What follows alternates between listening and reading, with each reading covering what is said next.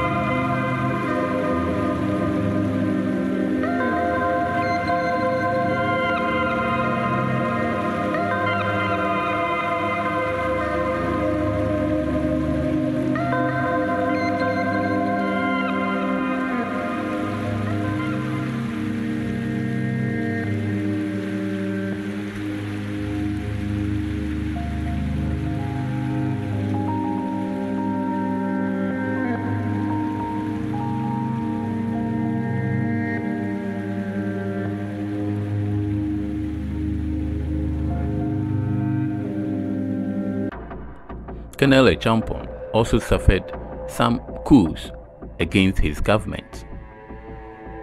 The most important of these coups were in 1972 and 1976. In 1972, some group of young soldiers tried to topple Acheampong's government. However, it was not successful. The 1976 coup, however, involved Major Kojo Tsikata, who would later become a prominent figure in the PNDC government, led by Rawlings. Acheampong came to inherit a lot of debt. Ghana owned a lot of debt uh, during uh, that period, and so he uh, decided to champion a popular policy known as Yentua, which he felt that Ghana was not going to honor her uh, loan obligations to the international community.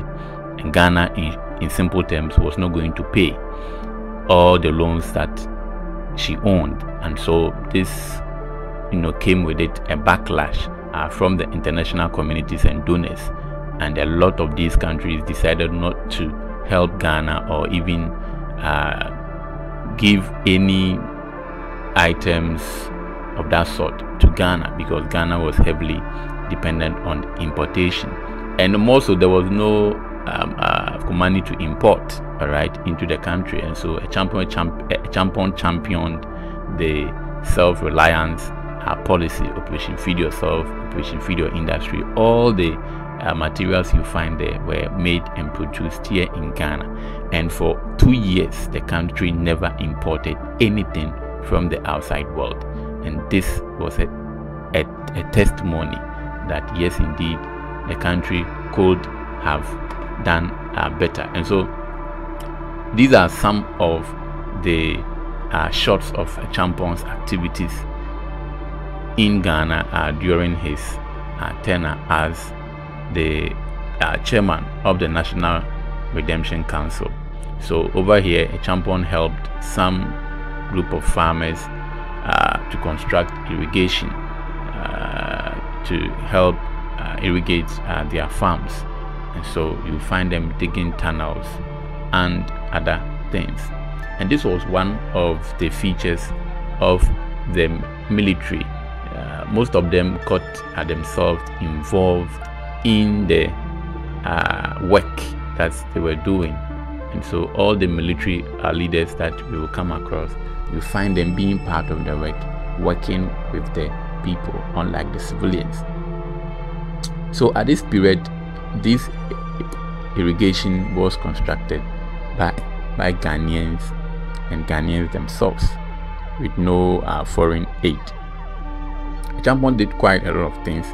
He also uh, opened, you know, some factories to to help in in, in, in the production of certain uh, items in the country, and that is what you also find on your screen. Acheampong indeed did a lot for Ghana. Um, he did a lot, but it's just unfortunate that Acheampong's uh, Acheampong's uh, role in the history of Ghana because he came as a military uh, leader. You know, a lot of people don't want to talk about it. And more so, he came to overthrow uh, uh the PP, that's the Progress Party, which uh, today are the remnant, you know, of the NPP, and and so of course no NPP may want to talk about Acheampong. And don't also forget that NDC was also the party that came to, I mean, the AFRC, because that came to overthrow Acheampong's and the Akuffo's uh, government, are today also known as the NDC. And so these two, you know, major political parties playing a major role in Ghana today are actually have issues with the NRC and the SMC 1 and 2 and therefore none of these political parties wants to eulogize or talk about the achievement of Acheampong. and that uh, partly has accounted for the reason why Acheampong's achievement uh, are less uh, visible in our history books but the champion indeed did a lot of things for Ghana.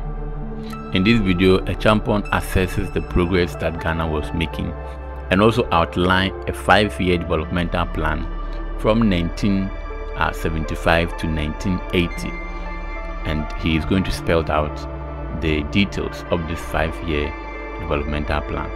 During this period, in spite of the difficulties brought about by grave international economic circumstances over which we have no control, we have been able to achieve through the enthusiastic response of all Ghanaians a reasonable measure of social and economic stability. We as a people are now more confident in tackling our national problems. We have also created the right climate in which positive development can take place. Accordingly, we are proposing guidelines to serve as a framework for our further economic development and growth during the ensuing five years. In launching these guidelines, we are calling Ghanaians to even greater sacrifices and achievements.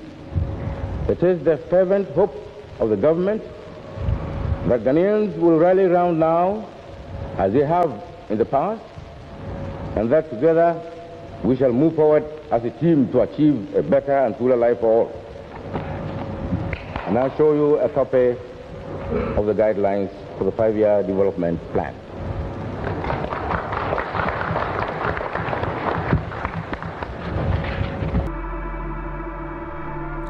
Now, due to the work, the immense work that Acheampong did for the country, uh, he was loved by many, and some of the traditional chiefs held a durbar to honor uh, Acheampong.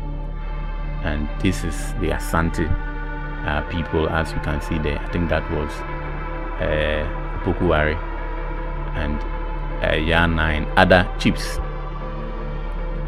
uh, who held a durbar to honor Acheampong and what he has done for the country. And that is the durbar you find on your screens.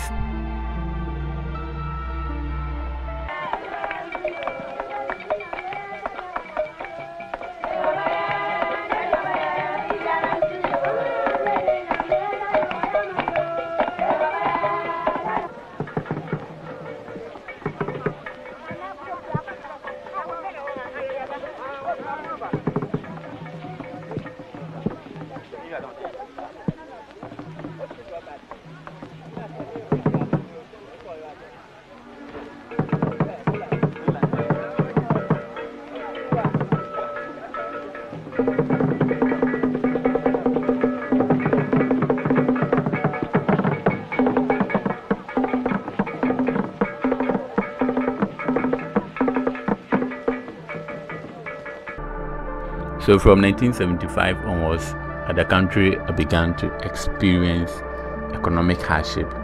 Basic uh, commodities uh, such as milk, sugar, uh, soap were all uh, scarce in the country, and and this was mainly because of a trade malpractice which was called uh, kalabule at that time that we all know. Some of the traders were hoarding these goods, and so the video you find on your screen were soldiers who had gone to seize these items from the traders and they were distributing them to the public. I think at a control price. And so that is what you find on your screen. And Kalabule became very, very, very uh, serious.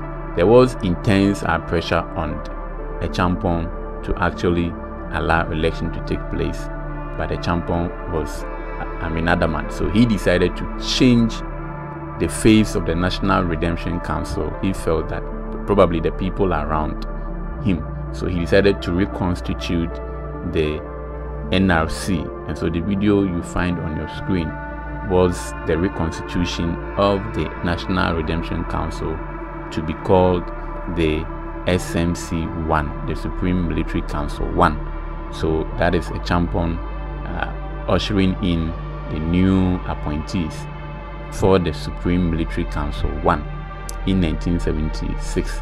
So Acheampong changed the National Redemption Council to the SMC 1 with the aim of uh, trying to uh, pacify the people so that uh, th there will be a new change. Acheampong also uh, proposed uh, certain uh, reforms like the Unigov whereby he felt that the military and the civilians can work together. Acheampong actually was not, he didn't want election to take place if I may I may say in that way. He of course wanted to be president for quite a long time or chairman of the country for a long time. On the Thursday, July 6, 1978, the country uh, woke up to the news of the resignation of Major General Kutu Acheampong as the head of state and chairman of the Supreme Military Council, SMC-1. In a letter to the Supreme Military Council, General Acheampong said he had taken the decision in the interest of the nation. Lieutenant General F. W. K. Akuffo, Chief of Defense Staff, has assumed the chairmanship of the council and following the resignation of General Acheampong, the following promotions have been made. Major General R. E. A. Kotei, Army Commander, now becomes Chief of Defense Staff Brigadier N.A. Odartey-Wellington has now been promoted to the rank of Major General and becomes the Army Commander. And so from here, in 1978, uh, General Akuffo takes over the SMC-1. Now, uh, General Akuffo reconstitutes the SMC-1 with new uh, members uh, like the chairman, Mr. Ernest Akum will be the IGP, uh, Akuffo will be the chairman, uh, Major General Ari Kote will be the Chief of Defense Staff, Rear Admiral J.K. Amedume will be the Navy Commander, uh, and then some of the members, Major General E.K. Utuka, and others. So, from 1978, Akuffo takes over the country and reconstitute the SMC 1 as SMC2. Even though on July 31, 1978, the SMC-2, led by Akuffo, proposed to return Ghana to civilian rule with a transitional interim national government. However, uh, there was intense pressure on the SMC-2 to change this idea on November 30, 1978. The University Teachers Association of Ghana, UTAG, for instance, called on the government to produce a permanent constitution reflecting the mood of the nation for freedom of association and expression. The National Union of Ghana Students, NUGS, also added its voice to this call and reiterated the need for a general election by universal adult suffrage to return the country to civilian rule by July 1, 1979. In late October, announcements were made that local council elections would be held for the first time in 20 years and on December 13, 1978, the political parties decree was passed. It banned all old political parties like the CPP, the UP, the NAL, and the NPP.